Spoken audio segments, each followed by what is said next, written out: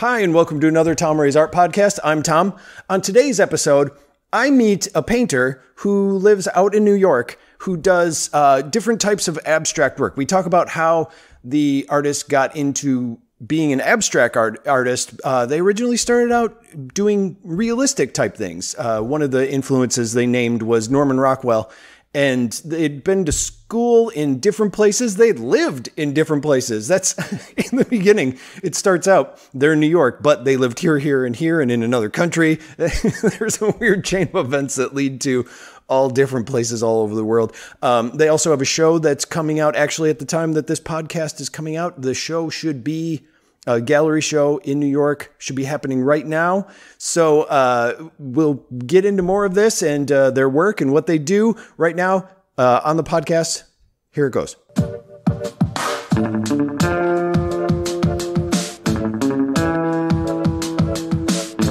I'm Peter Schenck. Uh, I'm a painter primarily, but I also do a lot of curatorial projects, uh, kind of with any not any particular regularity. I do when I kind of jump into them, but yeah, painter and sometimes curator. Okay, and where are you located right now? Uh, right now, I'm in Brooklyn, New York, specifically Crown Heights, okay, New York. Uh, that's a little bit for listeners out there. That's basically east of. Uh, well, I guess if you know Brooklyn, it's basically yeah. I don't know Brooklyn any of Museum. it. okay, it's uh, it's sort of you could call it like central Brooklyn in a way. It's um, and it's if you were say if you were in Manhattan, I guess that's, that's for New Yorkers too. It's like uh, I know the names. yeah, you can edit all this out, but it's essentially it's essentially central Brooklyn. I guess Okay. you could say. yeah. Um, uh, and I most of my I also do freelance art handling. I primarily work uh, part time and work in the city, uh, but my projects art related, whether showing my own work or curating others, is both Brooklyn and Manhattan. But my live workspace, my apartment, and my studio are both located in Brooklyn. I've been there once, and and I was there at night, and then we left. Like it was the same night, so I didn't get to see Oh, anything. yeah. I don't even remember the club that we went to to to go play. But Oh, interesting. Yeah, Yeah. it's uh I I like it a lot. I mean, I I didn't live here growing up. I was actually born in uh in New York City. Um and both my both my parents are from Brooklyn, funny enough, and a lot of my family pretty far back. But I grew up in different parts of the world. I grew up uh, a little bit in Asia and then uh, southern U.S. I grew up in Atlanta. Funny enough. okay, Um, why then- why such a vast change in the different places that you lived? Yeah, uh, it's a good question. My dad, although he was in Vietnam years back, it wasn't like an army brat thing. My, I think it was mostly for my dad's work. He worked. He's a very different profession than mine.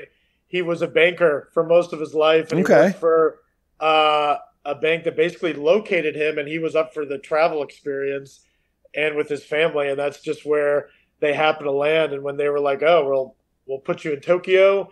If you like that, and he's like, "Let's do it," and then they're like, okay, I'd probably uh, answer the same way. Yeah.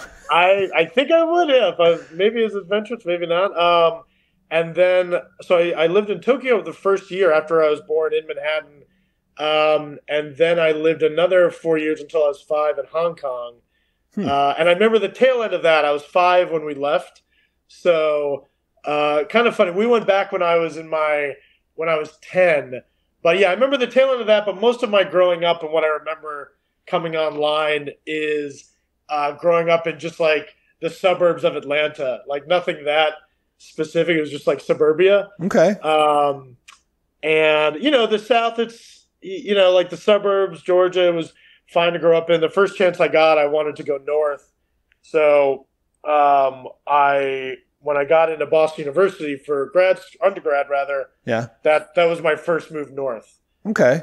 and long answer. Then finally, in different, uh, I'll just give you that. Like I did, uh, so I went to school there. Spent another year um, after that preparing for grad school, and then I moved to Philadelphia, uh, clustering around. My my idea was always to get closer and closer to New York, Yeah. but but going to these other schools, and then I went to grad school in Philly.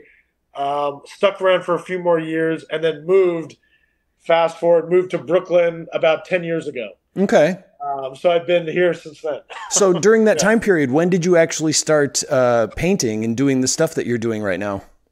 Uh, it's a good question. I I mean, I've, I've been drawing. I mean, going back, I've been drawing ever since I was a kid, and most kids start out making art. But I, drawing was a big thing for me, and I stuck with it uh, in kind of those years when a lot of people maybe stopped making art or around like their, you know, 10, 11, 12. I kind of dug in more. Yeah. Um, painting came later. A drawing was like really big deal for me. I just like really got well, and it's it. the I, easiest to achieve because all you need is a pencil and, yeah, and, paper. You don't you don't need a big studio. You don't you know. Yeah. A pencil and a piece of paper, and you're good to go. And, but I and it's something I liked, and kind of in a funny way when you're figuring out what you're kind of good at as a kid. I you know I got a little bit of attention for it.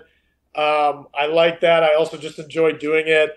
I would sell like even drawings for a dollar or something in in uh, elementary school. I stuff. wish I would have thought of that. I used to draw yeah, pictures for people yeah. all the time in in grade school, oh, yeah. and it's like, why did I never charge for that? I could have been buying myself you know. whatchamacallit bars and everything, you know? Uh, totally, man. Yeah, yeah. You could have started right at the beginning. I also, it was funny too, and although I do less prints now, I would make copies on like a old Xerox machine of drawings and also sell those and stuff. But like, you know, okay. Um, and I wouldn't say it was a huge business, but yeah, I, I had like a uh, there was a nice whatever feedback that people liked what I was doing, and basically at that time it was a lot of like observate like drawings. I I mean I still do, but I really liked back then someone like Norman Rockwell, someone that's like oh yeah. really drawing the figure, and it's something I could understand, and like now I like all of it, but get like understanding abstraction or enjoying that came a lot later but like back to your question, yeah, the drawing and like really kind of took hold maybe in my adolescence, and I just kept at it. Uh, and I was fortunate enough, even like at a public high school, to have a really good art teacher and art program that kind of fostered that. And then around high school, started painting a bit more on like sort like semi serious level and building a little bit of starting to build a portfolio for college. But uh, that I, I, had a lot of good people along the way, and particularly high school teachers and middle school teachers that were like, "Oh, you should keep doing this," kind of thing. Well, and let's go yeah. into when the yeah. the transition to uh, abstract kind of happened. What yeah. would you? How how did that come about? What was the first thing that made you go, "Oh, I really like this"? You know, when it started. Yeah, uh, it's a good question. It, it was like I would say it was like one or two things right around when I was in the middle of my undergrad time in Boston. Um, I had a really great teacher. He might still be teaching in Boston. His name is uh, Richard Raiselis, and it's just a name I'll put out. Maybe some artists might know. He's a really fantastic landscape and portrait painter. And funny enough, a lot of my school at BU, Boston U, was very heavy on observation. Mm-hmm. But as you got into your upper tier kind of courses or your junior and senior year, there were other professors that were like, you know, or him in particular, but other professors were like, maybe you should look at, you know, mixed in with your observation, like look at de Kooning or look at the structure of uh, Willem de Kooning painting or someone that, um, for like the artists out there, it's like someone that both straddled uh, figuration and abstraction with someone like Philip Guston. And it didn't, it someone, somehow it would just clicked for me with a lot of those abstract New York artists of the 50s that I started looking at in my junior year. So say I was like 19, 20 Mm-hmm. And and to be honest, for for years leading up to that, I kind of didn't get it. I thought it was like, uh, you know, kind of emperor's like clothes kind of thing. Yeah. I was like, come on. I just really, honestly, it wasn't for me. I was like, what am I looking at? And I would say the other thing that opened up for me because of the narrative of it, I read this big biography that came out in 2004, 2005 on Willem de Kooning, another big ab abstraction guy from the 50s. Yeah. And somehow the narrative of that, a bit of the romance of New York, and just like the writing was so good about the nuts and bolts and realizing that a light went on that it's not easy to make maybe a good abstract painting. And I had right. I had thought very opposite, which is also like, yeah, it's just have my thinking. Obviously, you know, making anything is difficult. But it finally clicked of like, oh, I can find something in in this. And then finally, like really dug in really hard and, you know, it then kind of switch gears on what kind of work I wanted to make. But yeah. Okay, and then what would you say it, from that? What would you say the description of what you make is? I mean, if you were to Uh, you know, there's always the one category yeah. that you have to pick where we're saying abstract, but there's always right. subcategories. So, what would you yeah. say? Like, how would you describe your work? Uh, it's a good question. I and I've been doing it long enough. I'm trying to get better at like the elevator pitch, so to speak. Yeah. Even though with everything I said with abstraction, and then I'll try to hone it down. I I actually, in a funny way, classify myself as almost like a modernist, uh, figurative artist with abstract impulses. Okay. In a way, so a lot of my art, uh, as I see it, there's there's a figure of some kind in all of it, um, but it's almost like it's almost figurative uh, pop in a way. I could put it like that way because I, yeah. I I work with the figure so much. Or there's like this is a PBR painting. I was noticing that. I was I was trying to figure out when that was in the background. I was like, is that is that a PBR logo? yeah. So it's okay. it's actually a painting I did uh, almost actually a year after grad school in Philly because uh, I was in this uh, really strong group show that I was psyched about. So I made this painting. I painted that in 2011. But even though I bounced around, it's still pretty emblematic of what I do. I, um, even though I like abstract art, it taught me and like even looking at pop art to be interested in like flattening mm-hmm. material. Mm-hmm. I, I I knew I could draw, you know, paint the shadow or like the side of the hand and make it look like the hand's turning. But all of a sudden, it was in me to kind of flatten things. And then occasionally, not so much in that painting, but other paintings have a little bit of both scenario. Like I might have that flat image with a drop shadow, but going back to what I would like, the umbrella of my work would be like uh, it's figurative, it's pop. There's abstract flatness coming in, but figuration is still in there. It's certainly not what would you call um, old school observation. It's what I studied, but then mm-hmm. I I emptied some of that out of it in favor of like a certain, definitely a certain level of cartoon uh, almost diorama like science projecty. Like there's a figure, maybe there's a funny drop shadow somewhere. I make these like interiors, and you use uh, very thick outlines on some of the characters that I've seen too, and I dig that. Yeah, I like that yeah. a lot. Yeah, I, I, you know, and I, it, it was definitely one of those things like being in art school. Like when you're told not to do something, it's either well, it's, you go one of two ways: you don't do it, or you like dig in harder and you make it seem like it matters more. So I right. I went into those realms of like I'm sure plenty of teachers were like you shouldn't be outlining your work kind of thing or yeah. even if it is like this and I was like all right whatever I'll just go this realm. Uh, but yeah, but uh, yeah. No, okay. very observant. Yeah. yeah. and what, so what is the process when you start a project? And I know you do both like large and small projects. I've seen some of your yeah. stuff in the wild and your big ones can get very big. And you know, yeah. what are what are some of the processes for creating these, and how do you know where what you want to start with? Yeah, uh, it's a good question. It changes a lot, to be honest. I wish I had almost like a, I, I, I'm definitely not a. I, I'm almost envious of some artists that's like they either start a small painting or a big painting. Yeah. They focus on that. It's all they do for maybe two months or three months. And, I actually, a lot a of people I talk to, that's not how it goes. To tell you the I truth, think, they'll, yeah, I think they'll do like, multiple ones, but it's it's totally. easy to assume that because it yeah. seems like it's so much work. But yeah, working on several projects at once actually seems to be the norm. I've run into that a lot. Yeah, no, totally. I think that's what I had in my head when I thought of like the big artists or what they do. But yeah, absolutely. I mean, most of the community of artists that I know I mean, I bounce around a lot. I might have, uh, and in my studio, there might be what, like a big painting size for me, which is either like 60 by 60 inches between five by five feet by five. Sometimes I go larger. Mm-hmm. In grad school, when I had like more space, I made a 14 foot painting and like, and I am still down to do that another date. Um, and I'll still go as large as maybe like a five by six. Um, but I yeah, I bounce around a lot. I might work on even a painting of that size, like say a five by five or a six by six. I might like go in kind of guns blazing and like work on it for really intensely from like a charcoal drawing to really or like a painting underpainting to like 90 or 70% of the drawing painting sorry i might like follow through in say three three weeks to a month or less on okay. a painting and I block that in. Then I might shelve it and I might work on, uh, even while I'm doing that, two or three like two by two foot paintings or something.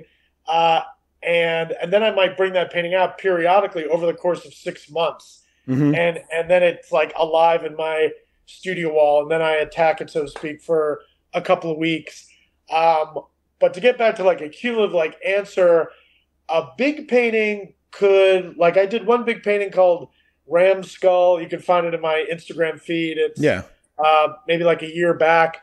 That was one of the bigger sizes I've done in a couple of years, and that was around six by five feet.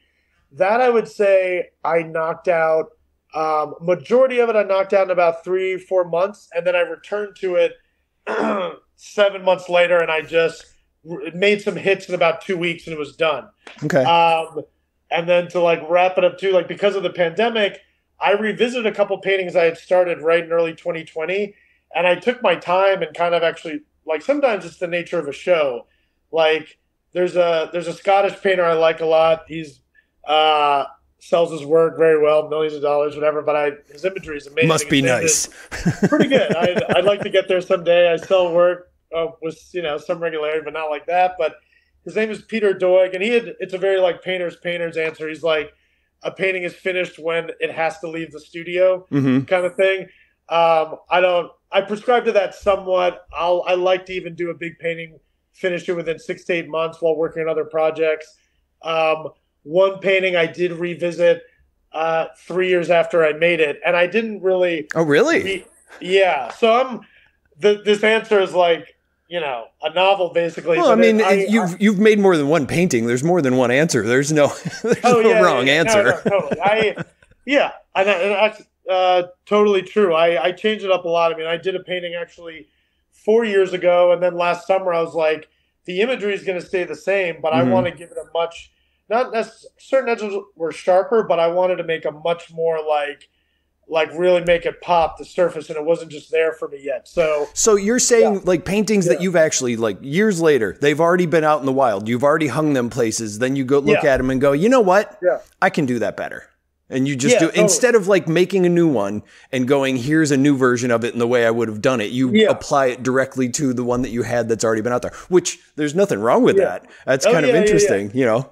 Yeah, it's it's a little, and I I take it almost in a good way. Like it's a good level of crazy, and I'll also there's certain paintings. uh There's definitely certain ones, and even that was an anomaly. But I will do that from time to time. hmm A lot after a certain like period, I'm like I do kind of put a check mark off. I I put it away. It's you know it's like an, an another artist answer of like I think if I do anything more to it, I'm going to detract from it. It's solid hmm but every now and then there's that anomaly of like, ah, I'm going to redo this surface. And- Yeah, and what does it matter? I mean, Yeah, it's yeah, your yeah. stuff. You can do what you want with it. It's not like Oh, somebody's totally. coming in and going, "Hey, could you?" You know, it's Right. different if somebody would be like, "You know, this would be better if that color there was pink."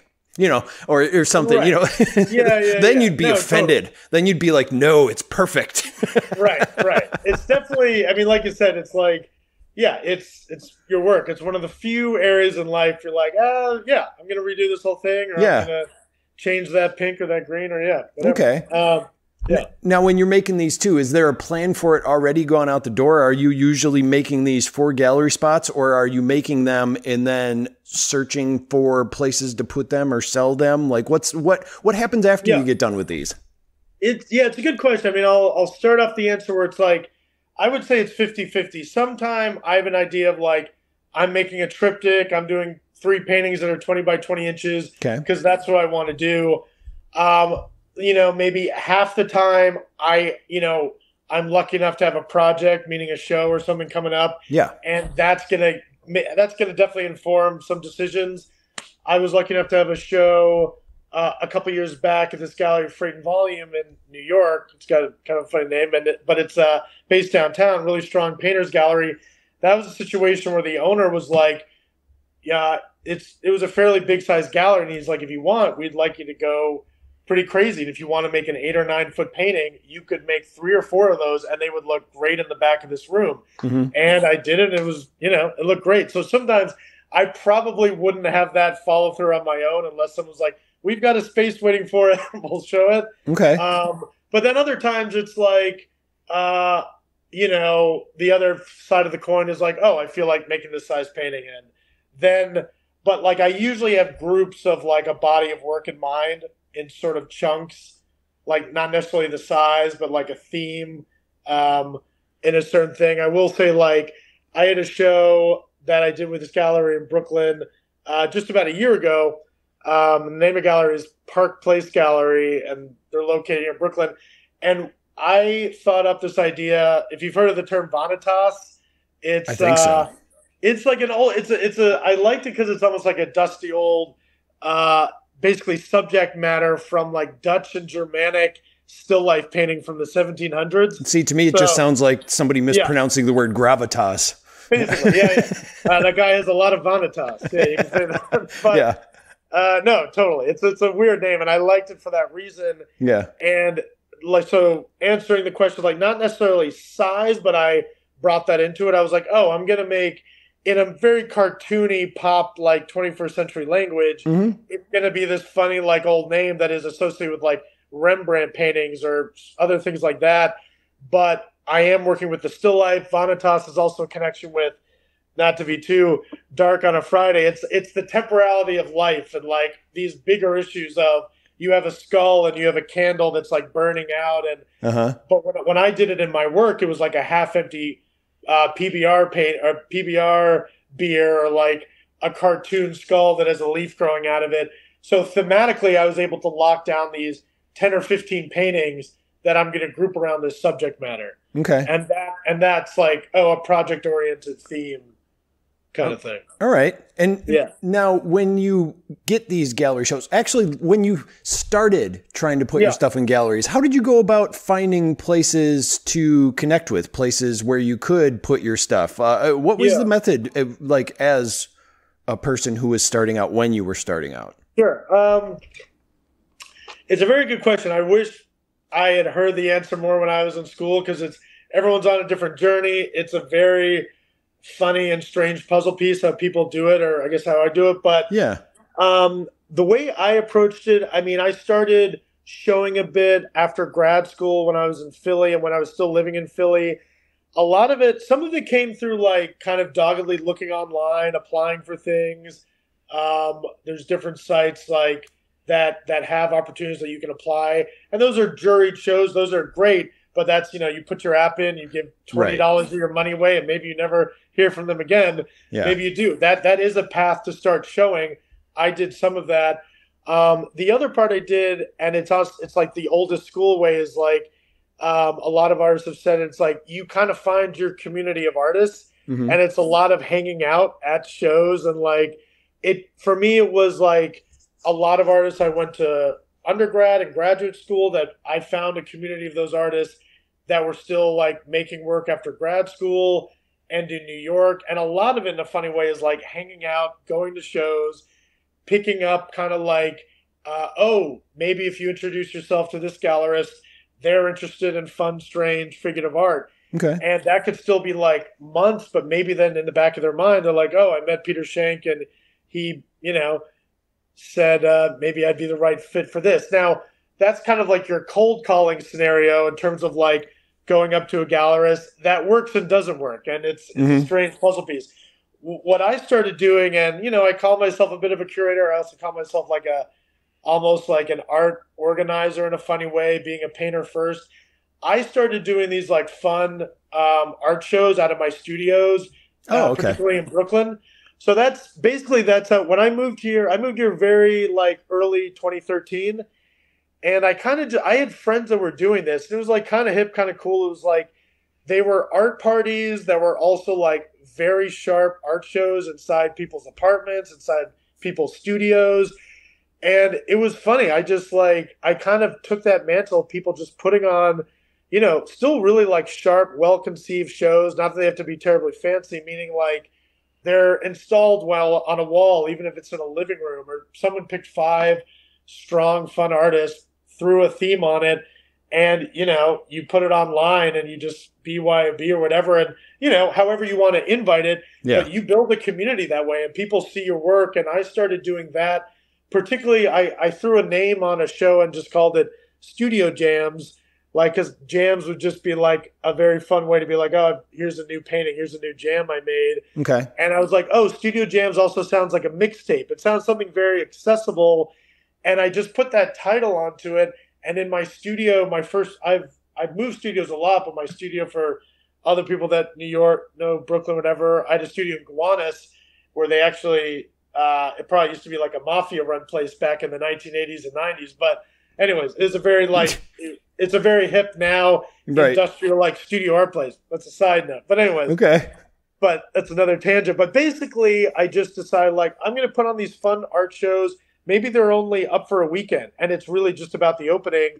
But I had the idea that people will see them; it'll be a fun show. But you know, and then I just like th- would throw my work into those shows too, but find really strong artists, friends that were making art, and and in a funny way, getting more to like I made the leap from doing those shows, and I still do those shows, but I made the leap where a friend of a friend saw like my second or shir- third show just doing this in the studio Okay. and he was like it was kind of the thing you want to happen i didn't expect it to happen uh, terribly fast but a couple shows in a couple months in a buddy or a friend of a friend was like i'll put you in the room with a pretty good gallerist not a huge gallery but a very commendable gallery that was in the lower east side at the time Yeah. and he's like, if you can think of another theme, you want you seems like you know how to throw on a, a, a strong show if you're going to make it look good in your studio.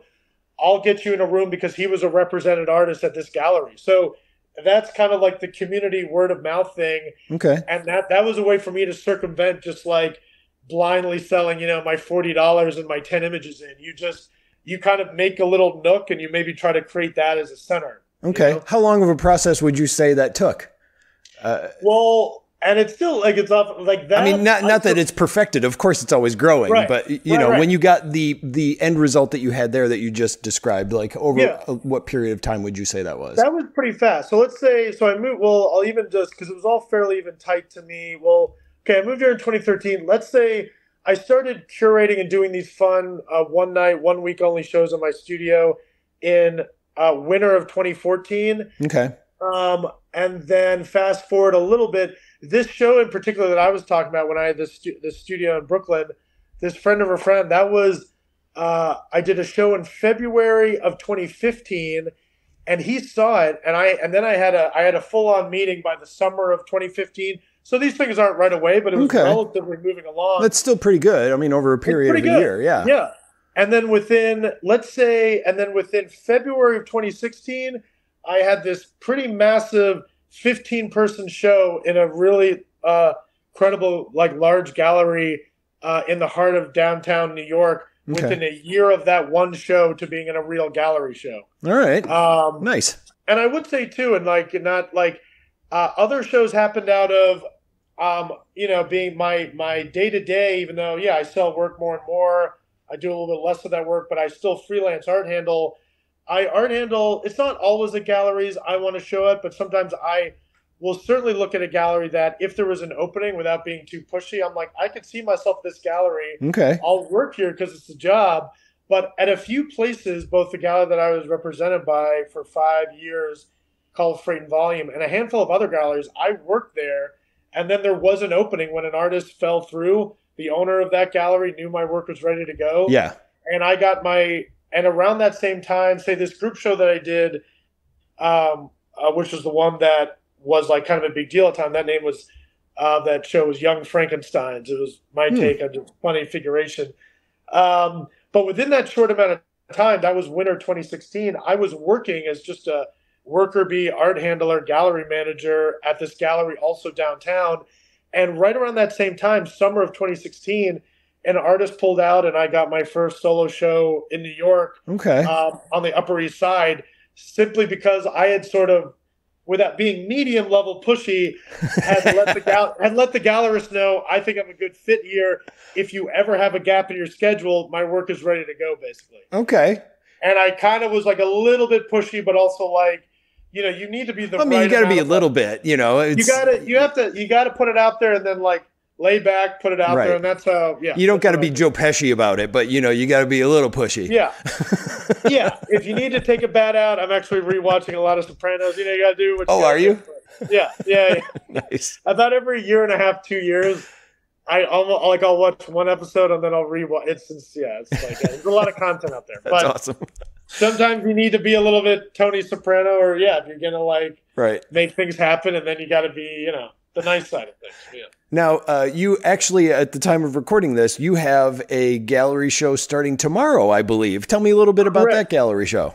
Yeah, this is like really good timing, and I can do a solid plug for the show. Um, it's it's got a really great title. The name of it is Terrible Fathers, so it's a bit right. It's a which it, I'm surprised you didn't do around Father's Day, but okay, carry on. I, that's true, and actually, and actually, he's not a terrible father. My father is going to see the show this weekend, and he's up with my mom for my mom's high school reunion here in Brooklyn. Oh, but uh, nice. But the the uh, the origin of it was I commissioned. He was an artist, a uh, friend of mine. We went to grad school together. Uh, he's a really great painter. His name is Daniel Gerwin, and in a nutshell, I commissioned him to do a essay on my work for a show a couple of years ago.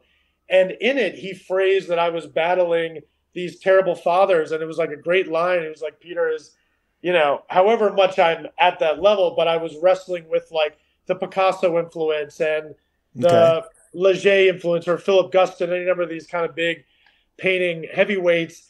And so that was just like this great essay, but laying dormant for a couple years.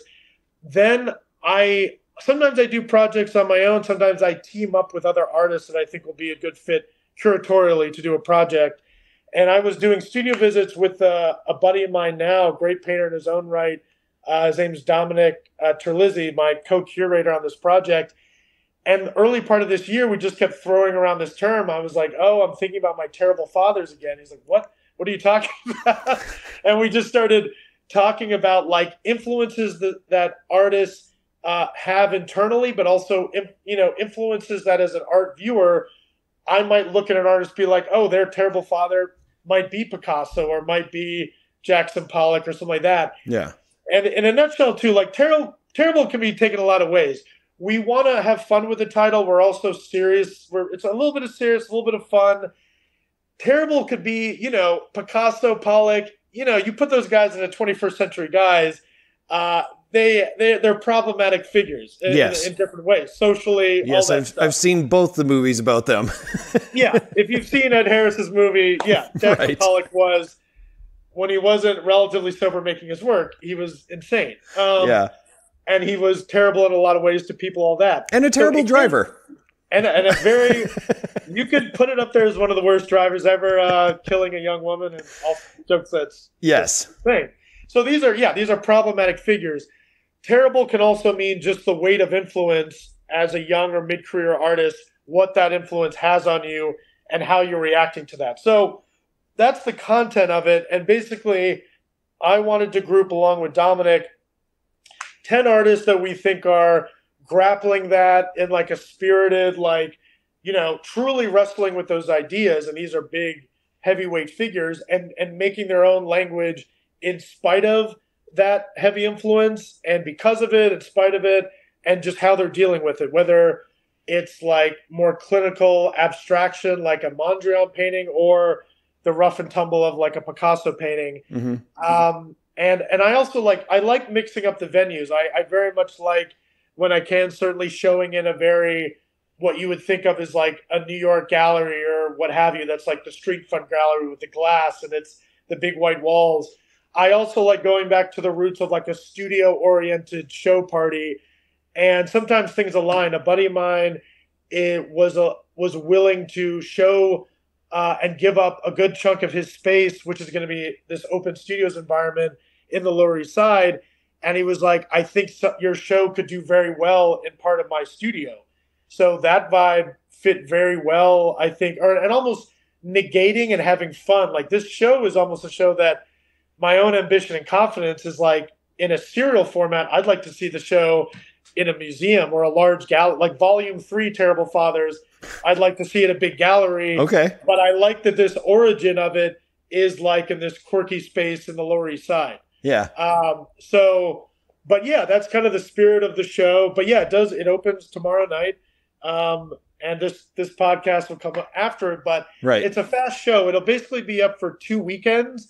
You know, a, a you know your kind of normal, what have you, uh, art shows maybe up for a month or six weeks. I like right.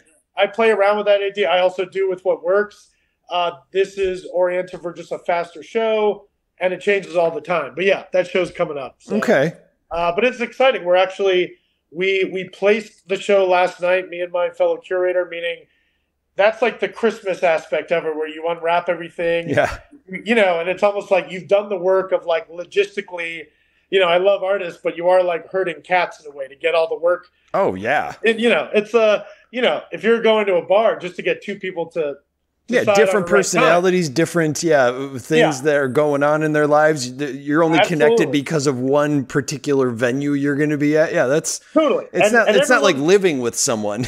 no, absolutely. And everyone we picked are like great artists that are also like, you know, they're the majority of them are artists that all have day jobs, myself included, but they're all, you know, they're professional in their demeanor and how they're making work and all that said. It's like I, all I've done shows with a like a, a vast amount of different artists. I've I've enjoyed like bringing in my professor from my grad program in the same show with someone that's you know basically my contemporary next to the 60 year old professor that's also making great work um, this but this you know this is more of like my community of artists roughly the same age kind of roughly at the same part in our career um, a lot of people that i mean in a very good way are hustling getting shows but yeah, they're not at the uh, they're not at the million dollar sales level yet, but people are showing and they care about their work and they've got a great body of work. So yeah. And uh, yeah. another thing too is you do show a lot of your stuff. Uh, you have a website and you have a lot of yeah. your stuff on there. Do you ever sell any of your stuff online? Do you ever uh, post things for sale online and yeah. you know to people outside of just the the gallery community that you're at? Uh, it's a good question, and I the the answer is yes. I I I will sell when I have like a, you know, a show like this, you know, there's a checklist, the works are for sale. Okay. In the show we're doing, I'll I will sell my work through a gallery where that's, you know, the more professional side of things. They're going to take a 40 or 50% cut. Okay. You're going to get they're going to get their commission, but you know, they're showing your work. I the pandemic in spite of all of the horribleness of what that everything that event is and we're still in the thick of it, it it a lot of artists of my level, I, I, was able to sell a good amount of work online actually. Okay, um, and through these galleries, you're saying through the galleries, but actually also through like uh, not all, sometimes galleries, sometimes like artists in my community would do like an online show on Instagram. Okay, or, and so and maybe the percentage was lower because they're like we want to give money more back to the artist. They want to make something as I would as a curator, but maybe that percentage isn't going to be fifty percent they might be like I I joined forces. I found uh, um, we worked together a bit. I found a dealer online on Instagram, and I I actually said like this is in the thick of the beginning of the pandemic. Yeah, I was like, would you like to do an online show together and see what we could move? And and he was like, yeah, let's do it. So we actually, you know, the show wasn't in a brick and mortar space that wasn't happening at the time mm-hmm. and we were able to sell a few works and find collectors and and every situation is different. Sometimes, say for an online dealer, um, because you know they're not showing you in the brick and mortar space, I think it's very fair. But maybe they'll take thirty percent as opposed to fifty percent. But every situation is a little bit different. But I was fortunate enough that not necessarily a six foot painting, but I was fortunate enough to sell like uh, a twenty by sixteen like paintings on paper or drawings, stuff like a little bit smaller like that that could mail easily. Okay. Um, Do you ship it out, or are they shipping it out for you? Every every situation is different. Okay. Um, when I when I work with a gallery, like say if I work with a, you know, if I'm saying a gallery, gallery, gallery that maybe has like a full staff, it's open six days a week, uh-huh. and, and if you're represented by a gallery, which I have been, uh, now I'm working in a in a freer sense with a handful of art advisories it's basically like an interesting mesh. I've I work with I still work with a couple of art advisors, and that means basically maybe one person, maybe three people that have their own floating advisory. There's not necessarily a brick and mortar space, and their their um, expertise to their collectors is selling drawings. They don't do the other stuff, but with them, it's like, okay, we'll work out. You get forty percent, uh, but because these are small works, I'll take care of the shipping. I mean, or I'll pack it and then you're all, but you're paying me for the shipping. Okay. Say if it's a five foot painting and it's through a gallery, I'm going to put it on them to if right. they're taking a large. That's why I asked. I was just right. like, you know, that's right. Uh, I've had to I've had to ship things larger like that before, and I'm like, this is oh, going to yeah. take me all day. totally. If if a gallery is taking forty or fifty percent, and they have what would be like called like a consignment of your work instead of a freer like maybe an online thing is like oh they've got two paintings we'll see what happens these are drawings that can literally be mailed uh, and if it's you know mailed safely with cardboard can be mailed very cheap Yeah. a five foot painting that maybe needs like a travel crate or even a very well made box Right. i'm going to maybe put that on a gallery if they're taking 50% yeah yeah Yeah. Okay. yeah yeah yeah so it, it fluctuates Okay. yeah. All right. Yeah. Then I just had uh, one more thing I wanted to ask. Yeah. So, coming up in the future, I mean, I know you have this gallery here, but are there any future works or plans or projects that you're working on that uh, that people should know about that they should be keeping an eye, an eye out for? Um, all uh, the short answer is I I don't have some like a specific name of projects, but what I will say is I've got I've got like a two person show with it's this is very kind of cloak and dagger, but Yeah. I have a I basically have an iron into the fire of a show I'm working on, and just like writing it out, meaning I'm writing out my own synopsis of it of a show that could work very well that me and another strong artist is included in okay. um, because I don't have any sign off, but I have a few galleries in mind. I'm basically in a pitching scenario of possibly a two person show that I, I would say um, a few of like the uh, like I'm basically toying around with a show that might even be called FaceTime or Totems or Structures. Very different in ways, but Okay. me and this other artist that have these almost very structural facial kind of paintings that I'm now just kind of constructing in the very early phase of a two person show that maybe will see the light of the day in New York, maybe in the fall, maybe next year. But that's the next Okay, project. that was gonna, that was what I was wondering. Is like, is, Yeah, yeah. is this coming soon? Because it sounds in the early stages. But then I remembered you also said that you work kind of fast. So well, that's the one thing, and I would say to any artist too, and it's something that I had to learn. It's like, I, I think it's good to have projects in your back pocket. Have Oh, them yeah. kind of like, I mean, as you know, as a musician, and like, uh, like that was the thing that I learned being around people that not, you know, that are people that are like kind of making a few moves, they're showing this and that. The the opportunities that I had when I showed and continue to show in galleries, it's it was that kind of soprano esque, but not entirely like I got work ready. Uh, here's a project, and here's like a, three paragraphs on it, or here's my elevator pitch of I think what could work well. And people, you know, you're having a beer, you're talking about with someone that's the gallery, and they're like, okay. yeah, And then two months later, maybe maybe three months, they're like, I think I could use that show, or Uh-huh. that that is kind of how things work sometimes for me. Um, so yeah, okay, but having a project kind of on the back burner, semi ready to go, and then and then other times it is like um, a gallerist might be like, yeah, could you craft something for me? That's a nice thing. right, Uh, but yeah, yeah. okay, But right now, yeah, we'll see. Okay.